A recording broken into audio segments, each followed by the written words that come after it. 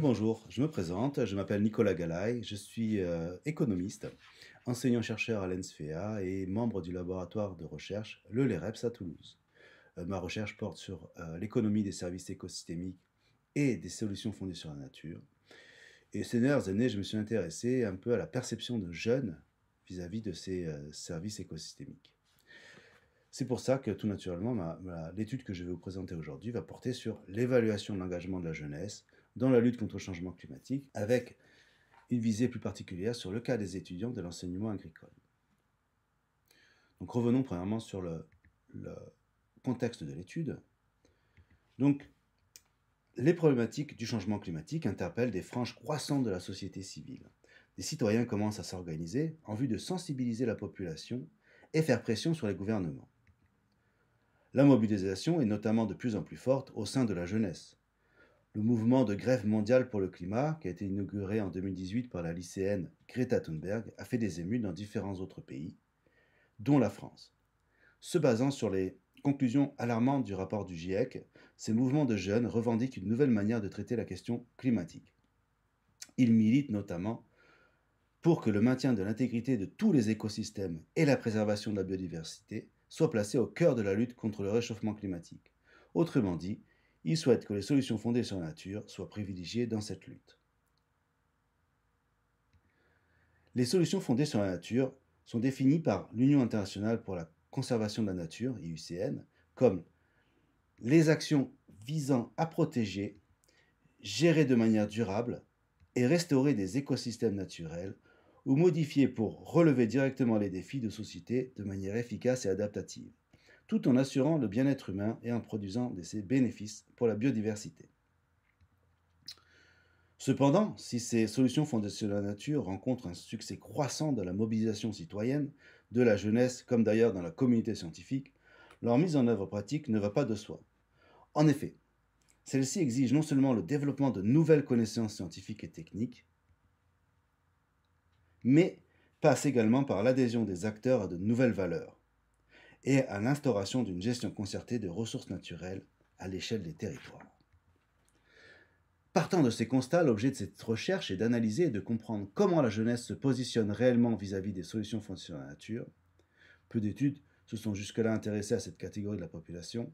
Pourtant, c'est bien la jeunesse d'aujourd'hui qui subira le plus les impacts du réchauffement climatique et, si rien n'est fait, qui devra adapter de nous dans le futur des mesures d'urgence plus précisément, nous souhaitons savoir jusqu'à quel point ces jeunes sont conscients du changement climatique et du rôle des solutions fondées sur la nature, et en quoi ce niveau plus ou moins élevé de conscience influence leur capacité à se projeter vers des actions pour la protection et le maintien de ces solutions fondées sur la nature. Partant de là, l'étude vise à mesurer la perception qu'ont les jeunes des problèmes liés au changement climatique et les valeurs qu'ils accordent aux solutions fondées sur la nature en tant que réponse à ces problèmes. Pour cela, nous passons par le concept de valeur pour analyser les perceptions et préférences, car celles-ci nous renseignent sur les normes de comportement que ces jeunes sont prêts à adopter pour agir individuellement et collectivement. Plus précisément, nous souhaitons adresser deux valeurs. La première est la valeur économique que ces jeunes donnent aux solutions fondées sur la nature. Celle-ci estime la valeur marginale de l'utilité de préserver ces solutions. Elle est une valeur dite individuelle. La seconde valeur est dite de la valeur sociale. Celle-ci mesure les valeurs collectives associées à la préservation des solutions fondées sur la nature. Voyons maintenant la méthodologie que nous avons utilisée pour cette étude. Cette étude s'intègre dans le cadre d'un projet appelé DefiClim. Ce projet a pour but d'analyser la perception du changement climatique et des solutions fondées sur la nature de ces jeunes. Cela nous a permis de créer une équipe de 20 enseignants répartis dans 11 lycées engagés depuis le début dans le protocole d'enquête. Nous avons regroupé les BTSA concernés par l'étude en deux catégories de filières. La première catégorie regroupe les filières formant pour les secteurs de la production agricole, comme le BTSA horticole, production végétale, production animale, ou euh, anciennement un BTS Axe, analyse la conduite, la stratégie et de l'entreprise agricole. La seconde catégorie de BTSA regroupe des filières formant spécifiquement au développement territorial et de l'environnement naturel, comme le BTSA euh, DATR ou euh, GPN, gestion de protection de la nature.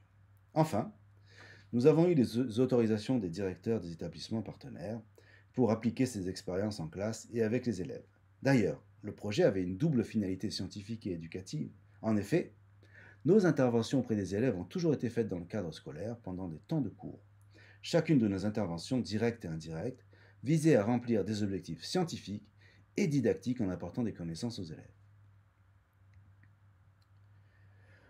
Nous avons dû utiliser une approche d'évaluation monétaire estimant les valeurs économiques et sociales pouvant fournir les indicateurs à une prise de décision plus équitable. Pour cela, nous avons choisi l'évaluation monétaire délibérative. Elle se définit comme l'intention de construire un consensus équitable par le biais d'un processus discursif qui permet aux participants de passer de préférences et de revendications de valeurs individuelles à celles qui sont fondées sur la compréhension réciproque et la mutualité. Sa mise en œuvre repose sur la combinaison de la méthode dite de la modélisation des choix, ou choice modeling, et d'une délibération. Le choice modeling permettrait ainsi de capter les préférences individuelles des jeunes adultes à propos de ces solutions fondées sur la nature. Et la délibération permet d'examiner dans quelle mesure un débat interactif entre étudiants peut faire évoluer les représentations du groupe vis-à-vis des, des, solutions fondées sur la nature et amener les participants à faire évaluer leurs priorités communes pour les solutions fondées sur la nature. Cet examen est réalisé à travers des groupes de discussion avec les parties prenantes au projet. L'évaluation monétaire délibérative peut être conçue selon deux grands types d'attendus. Dans une première conception, l'introduction d'une délibération dans un processus d'évaluation monétaire est avant tout destinée à fournir aux participants des informations supplémentaires sur les biens environnementaux complexes à évaluer. Contribuant à réduire la charge cognitive des enquêtés, la délibération est ici censée permettre l'expression de valeurs individuelles plus précises et davantage raisonnées. Dans cette conception, les évaluateurs adaptent des techniques d'évaluation, des préférences déclarées, en incorporant la délibération pour développer des préférences plus robustes. Les valeurs recueillies sous forme de consentement à payer individuel sont ensuite agrégées pour informer un choix social. Cette conception de méthode est appelée préférence economization. Cette conception est représentée ici sur cette figure par les protocoles A et B. Chaque protocole se réalise en trois étapes. Une première étape individuelle durant laquelle les participants sont interrogés sur leur perception des solutions fondées sur nature. Le plus souvent, la méthode utilisée est donc le choice modeling qui permet d'estimer un consentement à payer individuel. La seconde étape, appelée délibération, est dédiée à la réflexion et au débat. Dans le protocole A, cette réflexion est menée en autonomie par les participants. Dans le protocole B, la délibération se fait à la suite du choice modeling. La troisième étape est une nouvelle évaluation économique. Celle-ci est faite individuellement en utilisant la même méthode et le même questionnaire que lors de l'étape 1. Au final, la valeur sociale estimée est la somme des valeurs individuelles. Dans la deuxième conception, la délibération est réputée faciliter l'expression de valeurs partagées et qui transcendent les intérêts individuels. Il s'agit alors de favoriser la production de normes et de valeurs sociales au sein d'un collectif d'acteurs et menant à des actions collectives. Cette conception est appelée préférence moralisation. Cette conception utilise la délibération non seulement pour informer les préférences individuelles, mais aussi pour négocier la valeur pour la société indiquée par la volonté sociale de payer. La voit donc, c'est le protocole C. Dans cette étude, nous avons appliqué le protocole B, la première étape consistait à estimer le consentement à payer pour la préservation des solutions fondées sur la nature en utilisant la méthode du Choice Modeling. Celle-ci avait lieu une semaine avant notre intervention en classe. Les élèves devaient répondre à un questionnaire en ligne.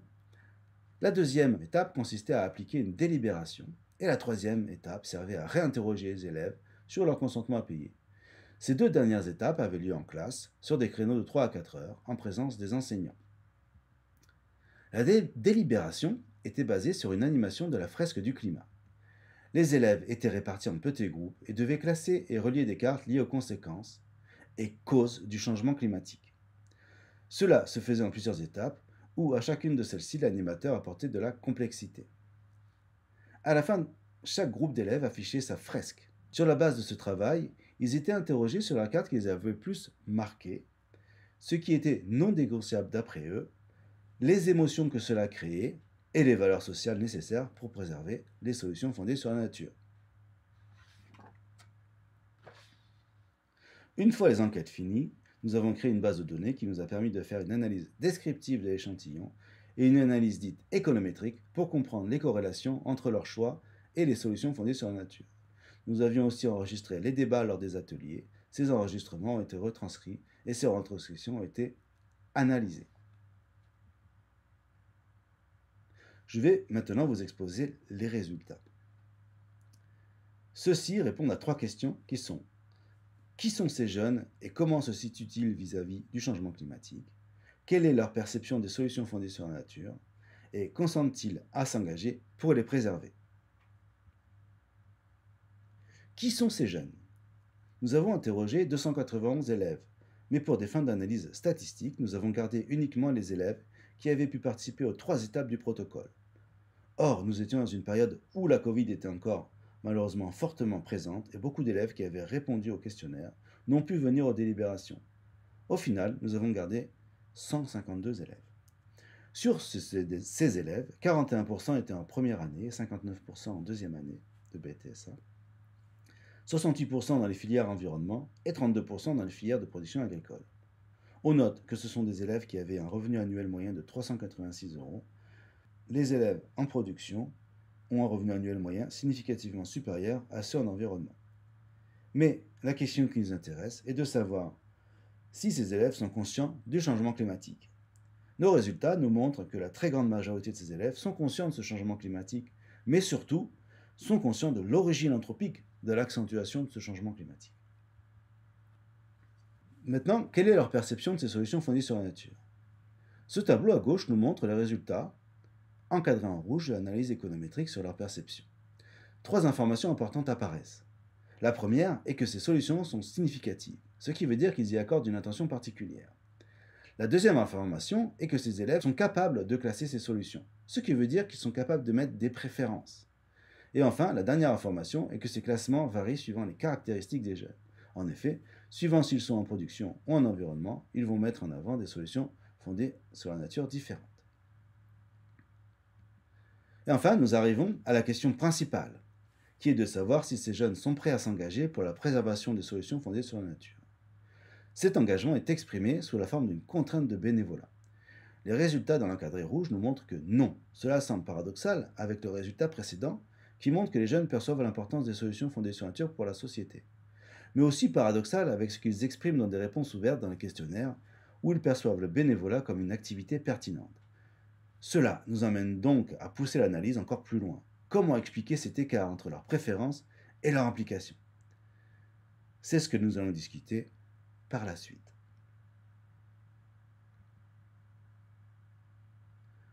On pense que cela peut être expliqué par l'analyse de la délibération. Pour cela, on se pose trois questions.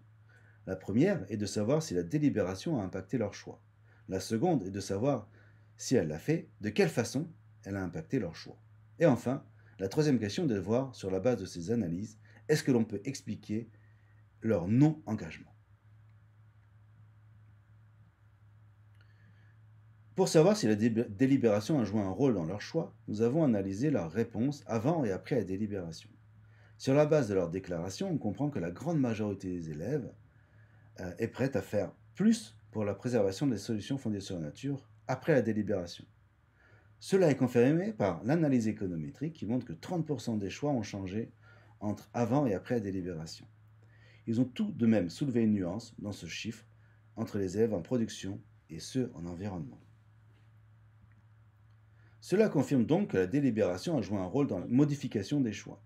Maintenant, on va essayer de rentrer dans les rouages pour voir comment elle a pu les modifier. Pour cela, nous avons fait une analyse des retranscriptions des discussions cela a permis de mettre en lumière plusieurs résultats. D'abord, la révision des préférences pourrait résulter du supplément de connaissances fournies aux participants durant le processus délibératif par le biais de la fresque du climat. La complexité de l'impact du changement climatique sur nos sociétés est grande et les individus éprouvent souvent des difficultés à exprimer des préférences et des valeurs complètes. Ici, la capacité des participants à intégrer la totalité des conséquences dans leurs préférences déclarées va notamment dépendre du stock de connaissances dont disposent les enquêtés pour identifier les solutions fondées sur nature et ce qui lie ces solutions à quelque chose de plus grand, le changement climatique. C'est en effet en accédant à ces nouvelles connaissances que les enquêtés peuvent eux-mêmes prendre position et émettre un jugement raisonné sur les cartes de choix soumises à leur examen. Au-delà, l'évolution des préférences des solutions fondées sur nature entre l'étape 1 et celle de l'atelier délibératif trouverait son explication dans le pouvoir d'une délibération à accompagner une actualisation des modes de pensée des acteurs en présence. Dans ce cas, ce ne serait plus seulement la propriété d'un débat argumenté à stimuler la diffusion de connaissances entre participants qui serait à prendre en compte, mais au-delà, sa faculté à provoquer un changement de compréhension des individus et une restructuration de leur système de croyances et de valeurs. Certains auteurs qualifient un tel processus d'apprentissage social. Dans plusieurs groupes perçus dans les ateliers, un phénomène de ce type, certes plus ou moins abouti, est à l'œuvre. Cela concerne tout particulièrement le système de valeurs auquel les participants au groupe se réfèrent pour éviter la perte du non négociable. Parmi ces valeurs citées par les groupes, certaines sont économiques, comme la baisse de consommation ou l'altruisme, l'altruisme ici au sens de Smith, qui dit que nous avons une disposition à nous intéresser, à nous dévouer, à nous consacrer et à vouloir faire le bien sans rien attendre en retour, juste parce que cela nous fait du bien individuellement. Non. Ces valeurs économiques sont faiblement citées. Les élèves identifiant des valeurs sociales comme un meilleur moyen de protéger la biodiversité et l'humain. Ainsi, les élèves impliqués révisent leur compréhension des problématiques liées au changement climatique et aux solutions fondées sur la nature à la lueur d'un système de valeurs renouvelé. Ensuite, le débat argumenté au sein des ateliers stimule le raisonnement complexe. Au cours de ce débat, une approche en cascade du changement climatique s'impose au détriment d'une approche simple de ses impacts. Ainsi, les élèves raisonnent dans un environnement où toutes les composantes sont connectées. Ils sont capables de comprendre que les effets sur une de ces composantes vont avoir des répercussions sur un tas d'autres. Ainsi, un élève nous dit Une chose se dérègle, et comme un effet de boule de neige, tout se dérègle derrière. Ceci leur permet de faire émerger plusieurs problématiques.